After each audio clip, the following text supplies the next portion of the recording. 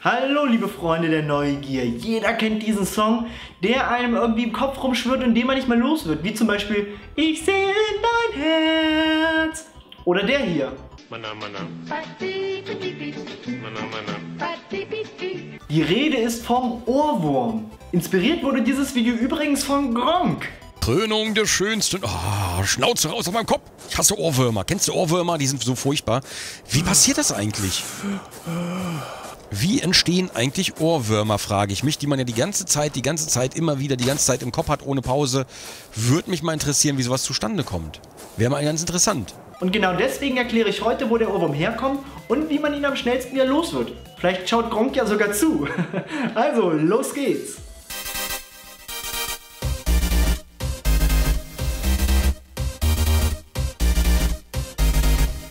Das Fiese an Ohrwürmern ist ja, dass es meistens so blöde Lieder sind. Aber meistens sind es halt eben diese Lieder, die so einfach zu merken sind, weil sie eben so einfach gestrickt sind.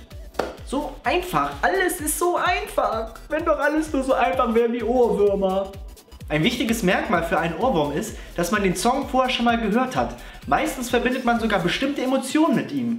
Befinden wir uns dann in einer Situation, wo wir eben diese bestimmten Gefühle wieder haben, auch wenn sie vielleicht nur unterbewusst sind, wird der Song in unserem Kopf abgerufen. Und das Gemeine am Ohrwurm ist ja, dass er, wenn er erstmal da ist, auch nicht so schnell wieder weggeht. Das liegt am sogenannten Zeigarnik-Effekt.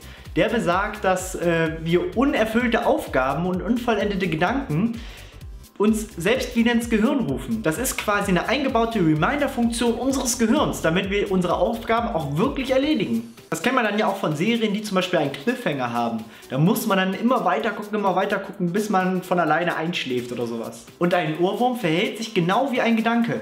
Meistens erinnert man sich ja nicht an den ganzen Song, sondern immer nur an einen kleinen Teil, zum Beispiel einen Refrain oder sowas. Da wir den Song aber in unserem Kopf nicht wirklich vollenden, bringt unser Gehirn den Song dann in Dauerschleife.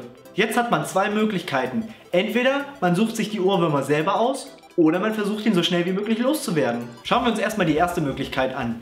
Wenn man viel Musik hört, die einem gefällt, erinnert man sich auch tendenziell eben an diese Musik. Dadurch hat man tendenziell eher Ohrwürmer von den Songs, die einem gefallen.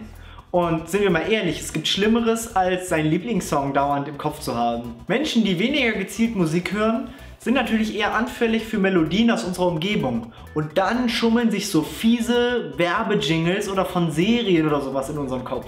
Ich sehe in dein Herz. Und wenn es dann doch mal passiert, dass man so einen nervigen Song nicht mehr los wird, habe ich zwei Wege gefunden, die helfen, dass man den Ohrwurm aus seinem Kopf bekommt. Nummer 1, Kaugummi kauen.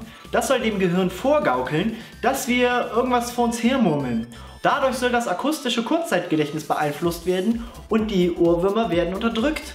Die zweite Möglichkeit ist eine leichte Denkaufgabe. Ist die Aufgabe allerdings zu einfach, wie als wenn wir jetzt zum Beispiel durch den Wald spazieren, oder ist sie zu schwer, lassen wir uns viel schneller ablenken und der Ohrwurm kommt wieder zurück. Am besten geeignet sind wohl leichte Rätsel wie zum Beispiel Sudokus, um den Ohrwurm loszuwerden. Ich hoffe, ihr versteht jetzt das Mysterium um den Ohrwurm etwas besser und ich danke Gronk für die Videoidee.